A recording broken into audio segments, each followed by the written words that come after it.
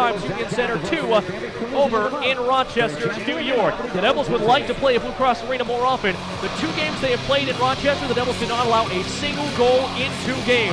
The two games they played here, they've allowed 12, 6 in each thus far. A 6 to 3 loss earlier this season, now trailing 6 to nothing under 2 minutes left